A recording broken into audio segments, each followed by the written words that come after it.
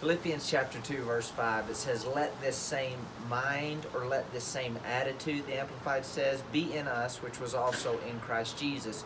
You think about what attitude is. Now, ability and potential is what you can do, it's where you can go, it's who you can become. But attitude is what you will do. Now, think about that. Each and every one of us have ability, each and every one of us have potential but it's the right attitude that empowers us to do what we can do. So ability is what you have the potential of doing. Attitude is what I will do. I will lift my thinking. I will lift my believing. I will grow my relationship with God. I will develop my gifts and talents and callings.